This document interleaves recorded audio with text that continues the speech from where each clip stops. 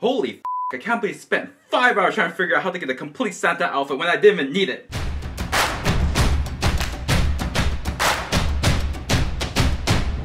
Hey, I'm SupaSenpai, and oh my god, I am so pissed off still. In Animal Crossing, we had a new update, and the new update is still locked unless you're watching this video on December 23rd, technically, then it won't be locked in Australia or stuff like that. The point in today's video is, one, turns out you don't need Santa's outfit for the Christmas event, so that's everyone online, all of you are lies for telling me that I needed that because I spent five hours trying to get the whole costume. Issue here is there's a lot of unknowns what's going to happen towards the event and I wish I knew what was actually going to happen in the event because all my preparations for my upcoming video has been worthless. so we're gonna start off by not spoiling much and we're gonna tell you guys how to get the Santa outfit and then the observation of how we figure out you don't need the Santa outfit for the Christmas event.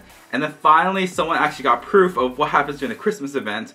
So you guys know how to prepare for it, but most importantly, you don't waste as much time as I did because I spent five hours trying to get that complete Santa outfit. So the Santa outfit, it's pretty standard. You go to the clothing shop, you buy the Santa outfit. It can appear from December 1st to 23rd. Right now, 24th is soft lock. So if you time travel to 24th, no matter what, nothing's gonna happen until the actual Christmas Eve event happens then everything gets unlocked from that day. But anything from 1st to 23rd, that's when you can get the Santa outfit. Some days you get one or two costumes, but about three of the days throughout the month, you have the opportunity to get all four. So the hat, the shirt, the pants, and the beard. The last one is Santa's boots, which I have friends who have went through the system data and have told me they do exist.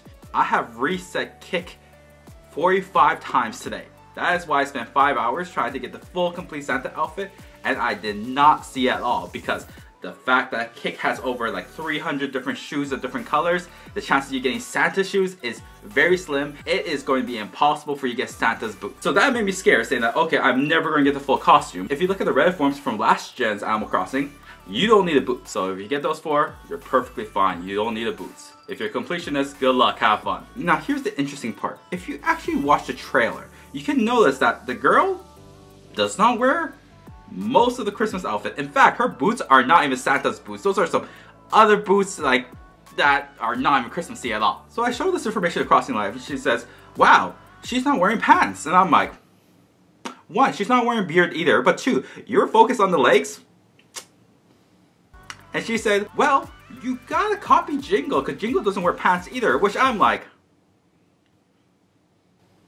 that's my YouTube best friend. This game's rated E for everyone. Anyways, I made us realize that you probably don't have to wear the outfit properly at all. You only need to wear one or two. But here's the part where you, we found out from a YouTuber named Jack. He actually unlocked most of the Animal Crossing content.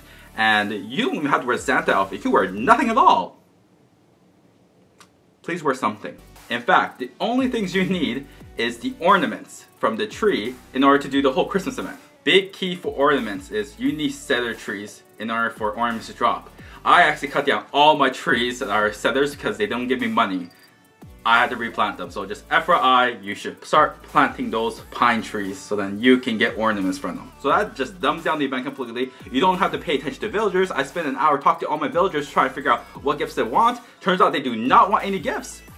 On the day of, you just give them a random gift. Also, the villagers are lying to you when they say they have a gift for you because they, they will never give you a gift on Christmas. I know my villagers, they don't give me gifts like that. So now, at this point, it is a spoiler part.